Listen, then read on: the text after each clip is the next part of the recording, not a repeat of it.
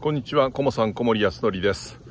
さて、えー動いていますね。もう皆さん、ネットでご存知かと思いますが、週刊文春がずっと追いかけています、木原官房副長官の本妻の前の夫不審死の問題。えー今日発売になりました。昨日電子版で配信されました、えー続報でですね、すごいニュースが出ています。え佐藤誠さんという警視庁の、まあ、エースですね、殺人事件の取り調べを進めてきたレジェンドと言われる捜査員が、実は木原官房副長官の本妻の、えー再捜査が行われた時に事情聴取をしていたという人です。で、えー週刊文春ではこれを X 子、そして当時付き合ってていた、まあ、浮気相手ですね、子供と一緒に安田種夫さんのもとを離れて行っていた後に、えー宮崎刑務所に収監されていた、服役服役していた覚醒剤取締法違反で捕まっていた人ですけれども、それを Y さんとは別に、えー Z という人物、これが、あ実は安田種夫さんはやはり自殺ではなくて事件性がある、えー殺しであったというふうに佐藤誠さんは見立てていたわけですが、えー捜査上の方から言われて捜査が止まってしまったというそこまで書かれていました。で、その佐藤誠さんが、えー明日ですね、えー金曜日、28日の午後1時から、えー文春が手配をして、えー記者会見を行うと。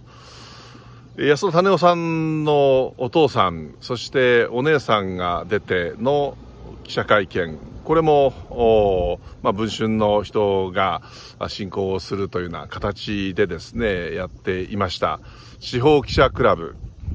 での会見でありましたけれども、今回はそこではないということですので、ということは、まあ、生配信も可能なのかなというふうに思います。で、えー前回の記者会見の時に、まあ、東京新聞、えーの記者、ああるいはまあ、幹事社である共同通信の記者は質問をしておりましたけれども、大手のマスコミ、えー NHK、TBS、日テレ、えーフジテレビ、テレビ朝日、報道ステーションとか、ニュース23とかいろいろな番組を持っているにもかかわらず、誰一人質問していませんでした。朝日新聞も、毎日新聞も、読売新聞も、産経新聞も、日経新聞も、えーそんな新聞あるんですかという形で全く無視しておりましたが、おそらく取材はしていたと思うんですけれど、結局、共同通信が流す短い事実関係だけを知らせる記事を載せたところが若干ある程度で、えー結局、全くもって今のところ無視をしています。えまあ私自身ジャーナリストでもありませんし、アナウンサーで亡くなってからもう四半世紀になりますので、現場経験もありませんけれど、ニュースをずっと追いかけてきて違和感があると。まあ自分の違和感だけです。これはおかしいと。で、週刊文春が取り上げている、まあもちろん週刊誌の記事にはいろんな記事があります。玉石混交ではありますけれども、ここは文春という編集部、あるいは文藝春秋という会社が総力を挙げて、エースを投入して追いかけているというところで、えーその記事を信じて、で、みんなが知らないんで、知らされていないので、これはおかしいと思ってずっと追いかけてきました。やはりすごかったですね。えーこの段階で佐藤誠さんが実名で記事を出して、その記事だけではなく、さらに、さらにですね、えー顔を出してということになりますよね、おそらくね。ここまで名前も出してて、えー手元だけを取って音声を変えてくださいということはおそらく考えにくいので、顔出しで、えー話をします。となってそこまで行って、まだマスコミが報じないのか。いや、松野官房長官の木原で鼻をくくったような、えー、通り一遍の発言。そしてまあ岸田さんなんかは何一つ公式には話していないわけですけどそういう無視もさることながらやはりいや彼らは逃げる側なんで、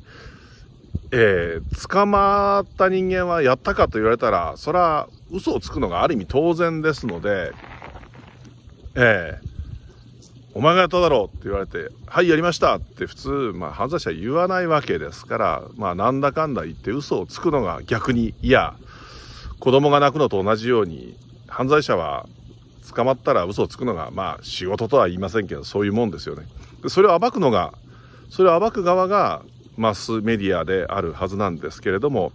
それをしてこなかった。さあ、どうしますか？どんどんどんどん逆に追い込まれていますよ。誰が追い込まれているかというと僕はマスコミだと思いますこの件について新聞社でございますと放送局でございますテレビ局でございますとラジオ局でございますと言って正義を振りかざし場合によっては人の人生をめちゃくちゃにするような内容の放送や記事を出してきた。それは、まあ、許されるかどうかはそれぞれの場合によりますけれども許されるとするならばそれはやはり彼らが正義というものを前提として動いているから報道しているからということなんだと思いますけれどもここまで全く触れていない全く触れていないものが今回大きな大きな爆弾が投じられるということが分かったわけですね。早く早くやった方がいいですよ。恥ずかしいことは早くすいませんと謝って。そしてえー、我々がおかしかったですと。これは伝えるべきでしたと。言わなければ。ジャニー喜多川の性加害についてずっとだんまりを決めていました、まあ、私も現役時代そのことについてアナウンサーとしてパーソナリティとして喋っていたわけではありません。しかしやはりおかしいと思ったところで話し始めました。統一教会の問題しかり長官チェックをやり始めてもう間もなく2年になろうとしていますけれどもその違和感を大切にしてきました。今回その違和感が、まあ、たまたまですけど別に取材もしていませんが「週刊文春」のこの報道をきっかけにまさにビンゴだったわけですね。でおそらく記者たちもビンゴだということは分かっているけれどしかししかし止められなかった。これまで数多くの番組や本を読んできましたが水俣病はなぜ止められなかったのか。止められないな止められなかったなと役人さんは言っていました。そうなんです。きっと戦争もそうでしょう。止められないなとみんなが思っている間にドツボにはまっていく。そうならないためにこの違和感を大切にしようと思います。もう皆さんご存知のことだと思います。有田義さんもツイートしていらっしゃいました。百田さんもどうやらあ配信をされているようです、え、私の口からも皆さんにお伝えしようと思いました。文春法第4弾が出たところで明日午後1時ですね28日の13時に決勝の殺しの